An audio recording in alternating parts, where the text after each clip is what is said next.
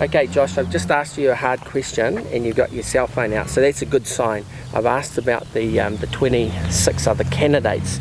Um, obviously, there's wards, three wards. Will you explain the ward system and how many candidates are running for each?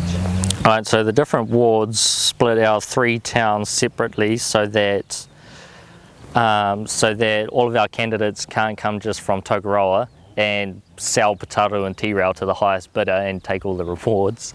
It's, to be democratic. And so because Tokoroa is the largest, um, it makes up of six ward candidates. Um, is the next largest and has three, and then Tirau only has one. But Tirau also has a community board, which is a great asset to their own town. Um, yeah, okay, so I was just going to ask you without looking at your phone what are the candidates, but but you said, look, I've got them on the phone, and yeah. you've, you've actually made, you've read all of their blurbs, I've yeah. read all of their blurbs, um, and you've actually made a list in your head or that you feel yeah. that, you, that you like. So it's interesting. So as a young person, basically we're getting the inside view of what 60% of the population that don't vote are thinking about just on the blurbs. So give us your STV spiel. Yeah, so um, Tracey Deane has really only been the mayoral candidate that's responded to me. Um, I quite like her personality and her business sense. Um, and then for the um, ward candidates, from Tirau I like Peter, I'm sorry if I pronounce your name wrong, but Peter Schultz. Um, from Putaruru I haven't really looked into, no, no one really catches my eye. I'm kind of disconnected from Putaruru. I don't really go there much or know anybody. Um, and from Tokoroa, I quite like Arama Napo Lipscomb. Um, she's a lawyer and she knows a lot about how the town works. Um, you know, she sees a lot of the the worst side and helps people through that. So I, I believe that she'll know the genuine Tokoroa populace a lot better. Um, I like Amy. Um, she's about my age. She's she's like great. She's got a great business sense. She has her own photography business. Um, I think that we need someone on council already to make sure that um, that we keep everything flowing and to already be there. I don't think it has to be the mayor from council that gives us that direction. It can be anyone. So I think Jeff Gash um, would be good. He's a local business owner. Um, and then who else? Um, I'm very horrible with names. No, Jeff but I see people's faces. Cop, and they've just changed the rules that um, existing cops can actually stand for council. It used to be the other way around. And oh, really? Yeah, and Jeff was an ex-cop, but he got the highest polling candidate numbers three years ago. So technically, he should have been deputy mayor for the last three years. Set the government. Yeah. So I don't like that unelected people can make decisions. So yes, deputy mayor Jenny Shattock would have been on the council, but she shouldn't have been the deputy mayor. I believe that it should be who the people choose to be the deputy mayor. But then again, I also think that the mayor has to have someone who knows them well, well doesn't know them well, but gets along with them quite well. And um, so it's kind of a catch-22. It's, it's undemocratic, but it's probably for the best that well, someone working with the mayor. My, my read on it is they want to turn it into cabinet where each of the, um, there's portfolios and each of the elected members has a portfolio and the Prime Minister, if you like, is the, the person who dishes out those. So they've created it like cabinet and that's the reason for that. Now I'm working with that and that's why I've called the Deputy Mayor's um, debates and I've got the same similar response to you.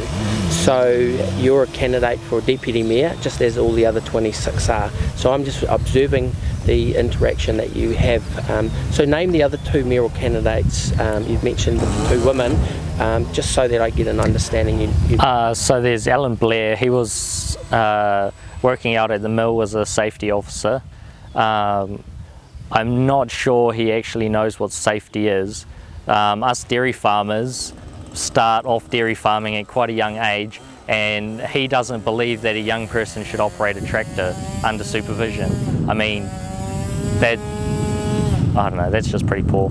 And then Jared Gallagher, he uh, lives in Hamilton. He's a property developer. Um, I don't really know too much about him. Um, he hasn't tried to contact me at all. I just think he's someone out of the community trying to up his own game. So, Okay, my, so my two personal choices were out of Jenny Shattock and Tracey Deane.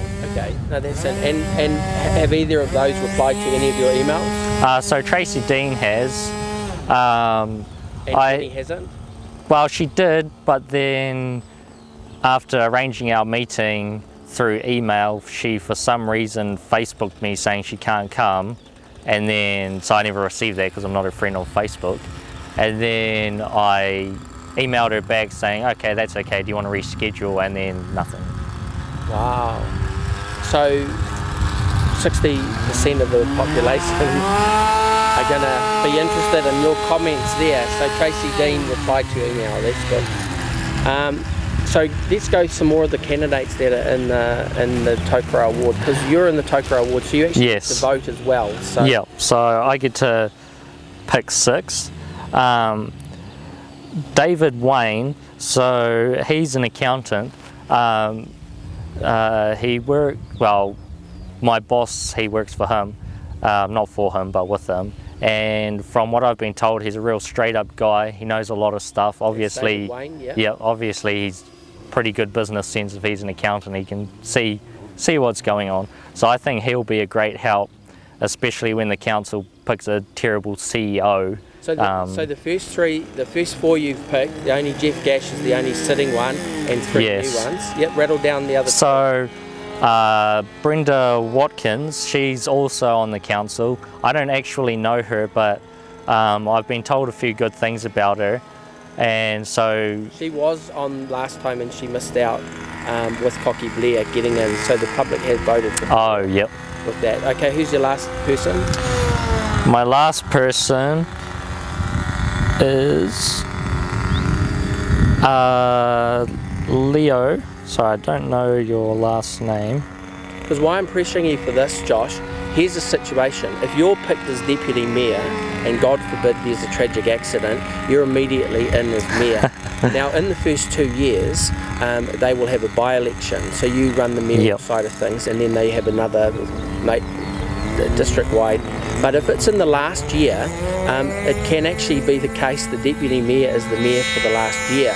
Now, if you're the raised from deputy mayor to mayor, you get to choose a deputy yourself and rejig the whole council or whatever. So that's why I'm asking you these questions: who you would choose as deputy, even though you're one of the 26 councillors, because you could be selected as deputy, and then for unforeseen circumstances, you are in a position to, in the next three years, to choose a deputy mayor yourself.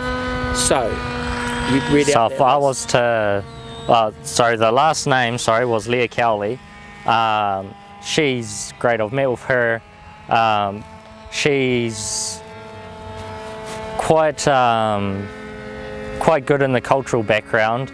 Um, she also knows a lot of people who have done great in the community, and she knows a lot of history about Tokoroa, which I implore. And I think every councillor, if they're elected in or before, they should be researching our community. Okay. Um, and and then so if I was to choose a deputy mayor, if, say if I was deputy and something bad happened, Yeah. and then I had to choose one, it would be Peter from Tirau if he got in. Excellent. Um, and yeah. is there a runner-up to that? Probably Leah. Um, I'm picking the, the older generation of people because obviously I'm young and I lack that other And- perspective. And the third, and the third choice for deputy, because I'm sort of hinting at, um, I'm hinting at Jeff Gash here, simply because of he- know, and he's in the thrust of it with Yep. regards to. So that's why I'm sort of suggesting that that, and he was also the highest polling candidate Hmm. three years ago. So you know what I mean, and it Yep. fits in. So I just wanted to. Um, raise that because the first two that's fine because I've actually met Pete out there the coffee man and he's a staunch supporter and he said to me he's interested in community boards so Mm. I don't get to vote in Tirau because I'm here in Toke ward but I definitely give thumbs up for for anyone that promotes community boards Yeah. okay um, now I've asked you that hard question I want you to ask me a hard question Okay, as what do you think your biggest concern is with the council at this very minute?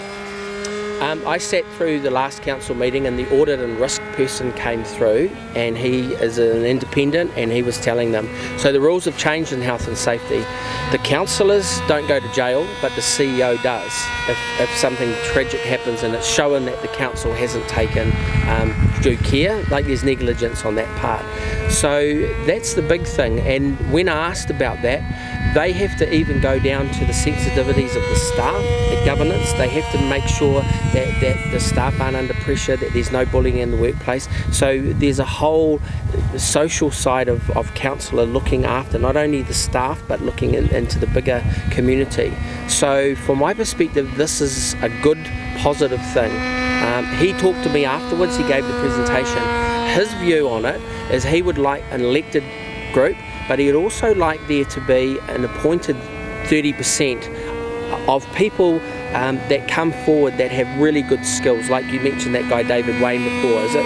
Yeah, who, who's uh, on the, uh, he's a, a directors, there's a, a, group of directors and stuff.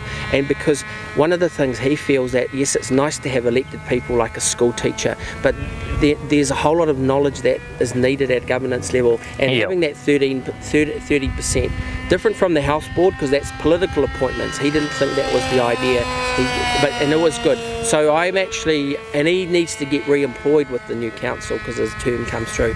And I'd support, if I was to tell you, if you get in, I'd like to see that guy reappointed. To, he's got continuity, and what he's done in the last three years has been excellent.